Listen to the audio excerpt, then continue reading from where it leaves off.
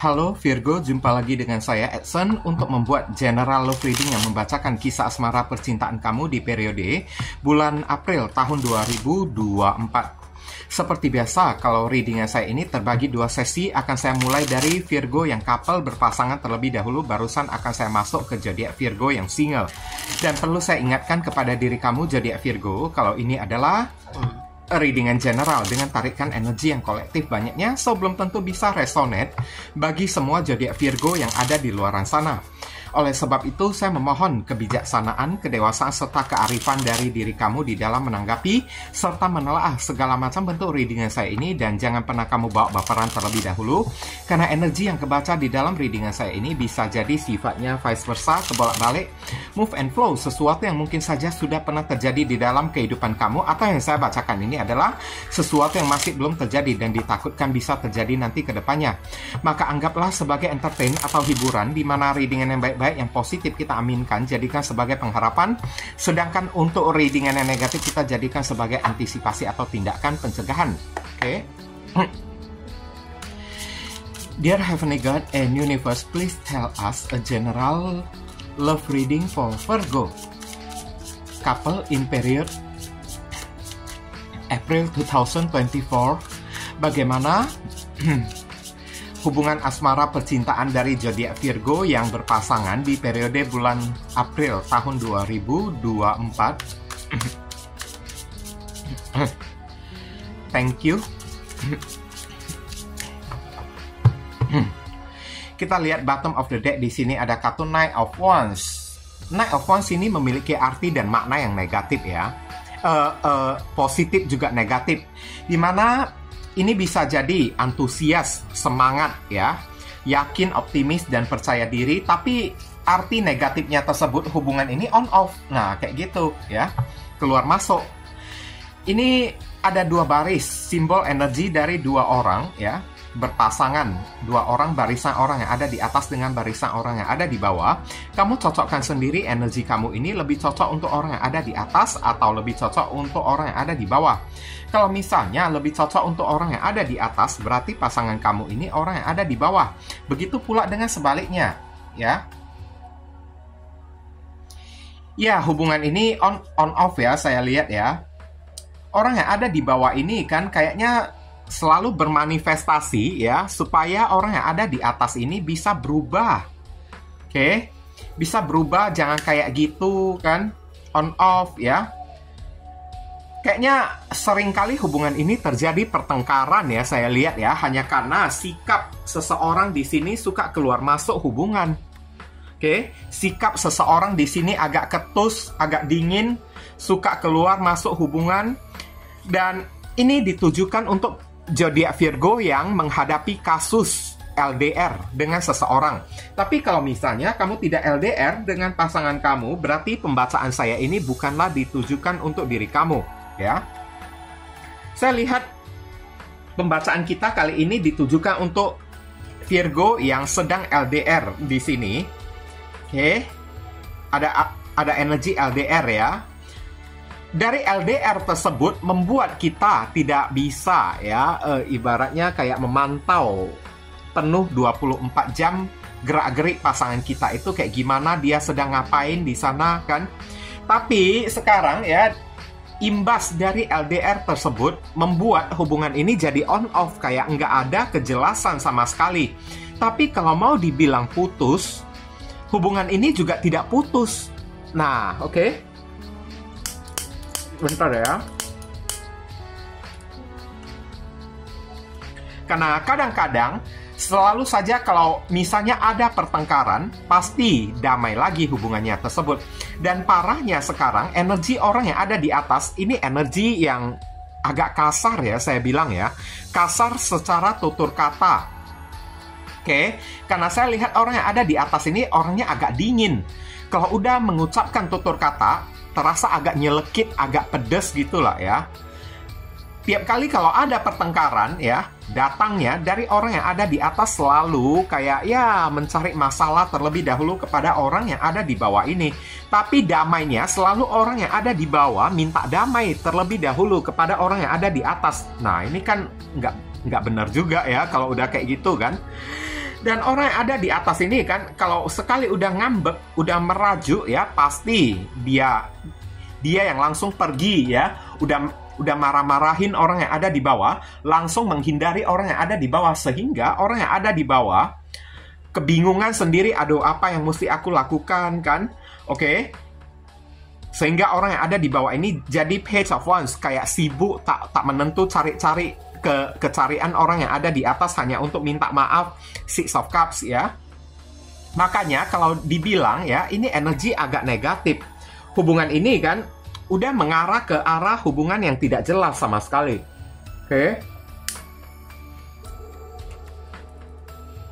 Kalau terlihat dari kartu Knight of Wands, dan tebaran kartunya di sini ya, hubungan ini lebih mengarah ke arah TTM, tapi orang yang ada di bawah ini baper kepada orang yang ada di atas. Orang yang ada di atas ini dia tidak baper kepada orang yang ada di bawah. Malahan orang yang ada di atas ini dia selalu menggunakan akal pikiran, menggunakan logika, dia tidak menggunakan rasa. Itulah sebabnya kenapa kalau terjadi masalah ya selalu bisa dengan mudah orang yang ada di atas ini mengeluarkan tutur kata yang kasar kepada orang yang ada di bawah ini. Udah itu kalau setiap kali ada masalah, merajuk orang yang ada di atas, langsung three of wands. Menjauh, ngambek ya. Langsung menjauh, menutup komunikasi, menghindari orang yang ada di bawah. Sehingga orang yang ada di bawah ini kayak kebingungan. Loh, orang dia yang salah, kenapa dia yang merajuk seolah-olah diriku ini yang salah? Nah, kayak gitu kan orang yang ada di bawah ini yang sibuk sendiri kan? Cari kejelasan of Wands ini kan si kan kan sibuk ya ke uh, uh, kecarian orang yang ada di atas ini ya. Cari sana sini hanya untuk minta damai kembali. Padahal orang yang ada di bawah ini dia tidak bersalah sama sekali. Tapi dia juga kalau misalnya ada masalah dan dia tidak bersalah selalu dia aja orang yang ada di bawah ini minta maaf kepada orang yang ada di atas Nah, kayak gitulah ya contoh-contohnya ya. Oke. Dan sampai di bulan April energi juga masih kayak gitu juga saya lihat orang yang ada di atas ini tetap pada pendirian dia yang yang keras, yang ego, yang kasar ya. Kayaknya orang yang ada di atas ini dia tidak menaruh ya harapan kepada hubungan ini ya saya lihat ya. Hubungan ini dianggapnya hanyalah sebatas TTM karena mungkin aja orang yang ada di atas ini melihat ya antara dia dengan orang yang ada di bawah ini ada jarak. Tapi parahnya sekarang page of wands orang yang ada di bawah ini kan dia yang baper menaruh harapan kepada orang yang ada di atas ini. Kadang-kadang two of pentacles ya bingung. Mesti kayak gimana menjalani hubungan ini. Mau melepasin orang yang ada di atas rasa itu udah ada. Dia selalu mengenang orang yang ada di atas ini tapi setiap kali juga ada masalah, meskipun orang yang ada di bawah ini tidak bersalah, dia selalu yang minta damai terlebih dahulu. Kecarian orang yang ada di atas ini, sedangkan orang yang ada di atas ini sibuk menghindar, sibuk jual mahal, ya. Oke. Wah, ini udah timpang sebelah karena two of coin ya. Saya lihat orang yang ada di bawah ini selalu kerap kali berada di posisi yang dirugikan, ya. Dan kita lihat ya, saran pesan di sini ada kartu Ace of Wands. Aksi, tindakan baru mesti dilakukan ya. Tindakan berbentuk apa sekarang? Saya lihat ya, pesan untuk orang yang ada di atas ini, ibaratnya lah, kam kamu disuruh kendalikan emosi kamu, ya. Saat emosi kamu itu tidak terkendali, ya tutur kata yang sekotor apa pun, sekasar apa pun bisa kamu keluarkan nantinya sehingga secara tidak langsung bisa menyakiti hati dan perasaan orang yang ada di bawah ini. Ace of Wands, lakukan sesuatu untuk merubah ya pola emosi, mindset emosi dari diri kamunya tersebut. Kalau tidak, ya kamu yang kayak ya memancing api lah kalau boleh saya bilang lah ya. Sedangkan untuk orang yang ada di bawah, kenapa kamu masih terus mengharapkan orang yang ada di atas? Ace of Wands.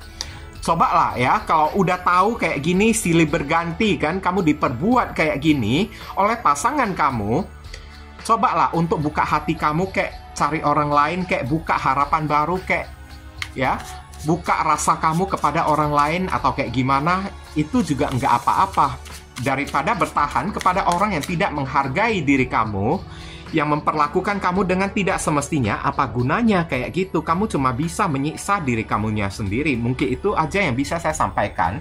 Periode bulan April ini kamu bisa terhubung dengan orang bersun moon rising and Venus Center ada zodiak Sagittarius, orang yang ada di atas datang dari Sun, Moon, Rising, and Venus, ada Aquarius, Gemini, ada zodiak Aries. Sedangkan untuk orang yang ada di bawah ini datang dari Sun, Moon, Rising, and Venus, ada zodiak Capricorn, ada zodiak Aries, Leo, Sagittarius, dan ada zodiak Scorpio dan saran pesan di sini ada Aries, Leo, Sagittarius. Tapi jangan selalu berpatokan kepada zodiak ya.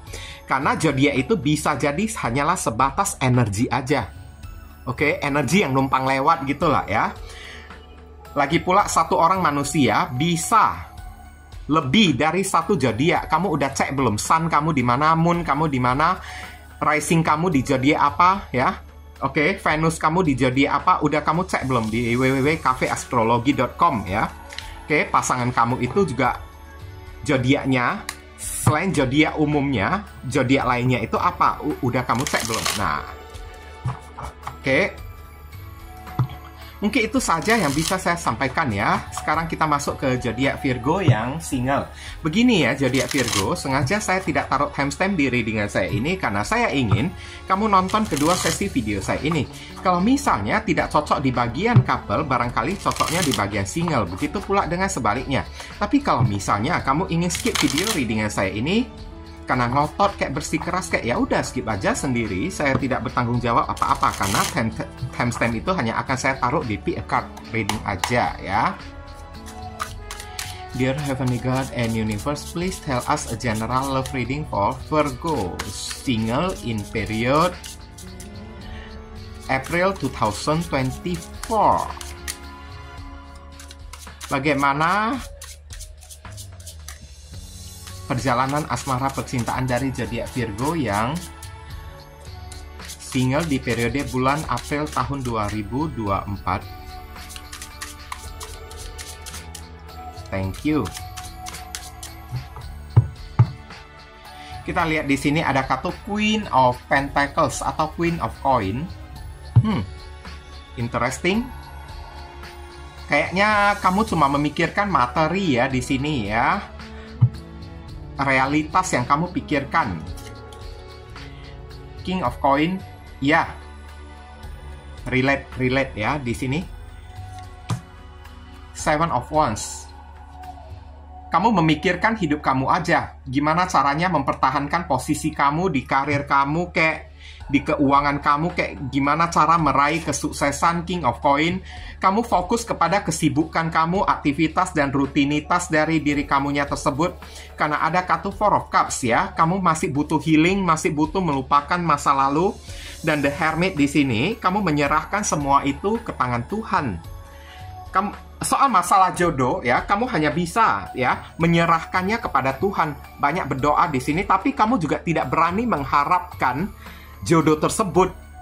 Kamu ini realitas banget ya saya lihat ya zodiak Virgo Queen of Pentacles.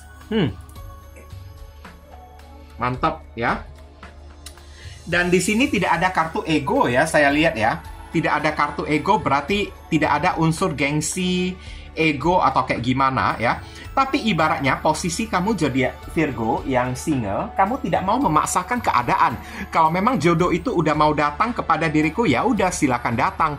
Saya welcome aja. Tapi kalau misalnya bulan April ini tidak datang kepada diriku, saya juga gimana ya? Saya juga tidak mau memaksakannya. kayak gitu ya. Uh, jadi Virgo ya, kamu juga tidak mau memaksakan bisa ketemu dengan seseorang atau kayak gimana karena saya lihat fokus kamu juga tidak ke arah pacaran. Ini memang ada orang sih, Four of Cups ya, ada orang yang menawarkan cinta kepada diri kamu karena tapi ya kayaknya di bulan April ini kamu tidak merespon orang tersebut. Yang kamu pikirkan uang, uang, uang. Yang kamu pikirkan tersebut naik of Wands. Rutinitas dari diri kamu, aktivitas pekerjaan kamu yang kamu pikirkan, kesibukan kamu, gimana caranya ya. Kamu selesaikan proyek kamu tersebut, pekerjaan kamu yang kamu utamakan karena uang yang kamu kejar, King of Coin, King of, King of Pentacles, uang, uang dan uang yang kamu harapkan di sini karena Seven of Wands di sini ya mungkin kamu memiliki masalah di dalam kehidupan yang mesti kamu selesaikan dan cara menyelesaikannya itu mesti menggunakan uang kayak bayar ini kayak bayar itu kayak ya. Jadi ibaratnya bulan April ini kan tidak kepikiran bagi diri kamu untuk dekat-dekat dengan seseorang meskipun ada orang yang menawarkan cinta kepada diri kamu. Kayaknya kamu juga sulit merespon orang tersebut karena pikiran kamu tidak ke sana sekarang.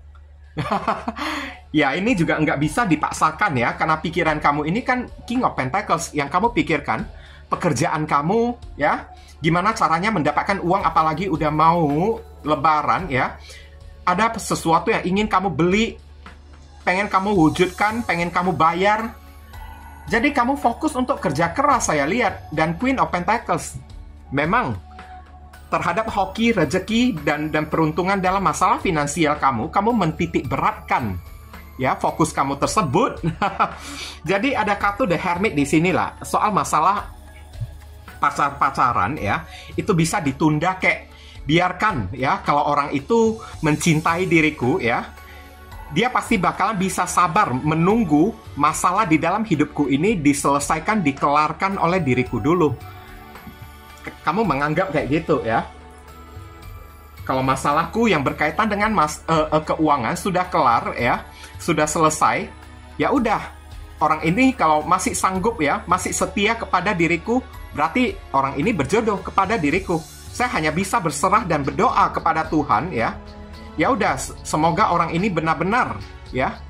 Uh, ibaratnya kayak ya memiliki cinta yang serius kepada diriku. Tapi kalau misalnya sampai masalahku udah kelar soal masalah keuangan orang ini sudah tidak ada udah moving on ya. Udah pergi ya saya juga tidak mau menyalahkan lagi.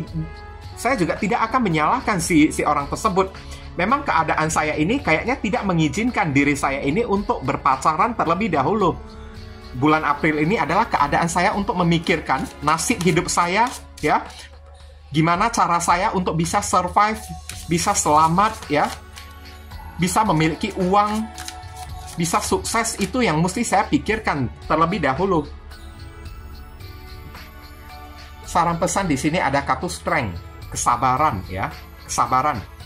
Ya udah, kartu ini menganjurkan kepada diri kamu ya udah pertahankan lah ya. Kalau memang pola pikiran kamu ini kayak begitu kan, hidup kamu yang lebih kamu prioritaskan terlebih dahulu, ya udah pertahankan aja strength ya di sini ya, oke? Yang penting kamu ini udah yakin ya, inilah pilihan kamu untuk fokus terhadap materi koin-koin ya di sini ya, untuk fokus kepada karir Night of Wands, ya udah silakan kamu fokuskan. Berarti apa yang kamu pilih itulah yang benar, Virgo. Kayak gitu ya, saran pesan dari kartu ini. Soal masalah jodoh, ya udah, sabar aja, serahkan ke, ke tangan Tuhan. Jodoh itu juga tidak bakalan lari ke mana-mana meskipun usia kita itu udah 50 tahun, udah 60 tahun, tidak tertutup, kita itu masih bisa ketemu dengan jodoh. Bukan begitu, jadi Virgo ya. Oke, periode bulan April ini kamu bisa terhubung dengan orang bersama Moon Rising and Venus, ada zodiak Capricorn, ada zodiak Sagittarius, ada zodiak uh, Taurus, ada uh, ini Leo, ada Cancer, ada Vir ada Virgo, ada zodiak Leo. Mungkin ini saja sih yang bisa saya sampaikan kepada diri kamu. Jadi Virgo berhubung karena ini adalah readingan general jadi penyampaian saya mungkin agak simple dan seadanya. Untuk penyampaian yang lebih mendetail dan lebih spesifik ke energi kamu sendiri, saran saya langsung aja kamu lakukan personal reading dengan diri saya. Dan dari awal sampai sekarang saya tidak mengatakan kalau readingan saya ini bisa resonate sepenuhnya untuk diri kamu. Jadi Virgo itulah sebabnya kenapa saya selalu menghimbau orang-orang lakukan aja personal reading dengan diri saya. Karena jadi Virgo itu banyak ya jutaan orang di muka bumi ini dengan energi masalah berbeda, nasib berbeda, takdir juga berbeda. Jadi belum tentu yang saya bacakan ini adalah Virgonya diri kamu. Mohon kamu jangan langsung baperan atau menghakimi readingan saya ini terlebih dahulu. Oke, Virgo? Jangan lupa banyak berdoa di sana. Di sini saya selalu mendoakan yang terbaik untuk diri kamu. Kita sama-sama saling mendoakan satu sama lain yang positif-positif. Akhir kata saya ingin tutup dulu readingan saya ini dan pamit undur diri dulu. I see you again very soon on the next video. Salam cerah penuh kedamaian. Sadu, sadu, sadu.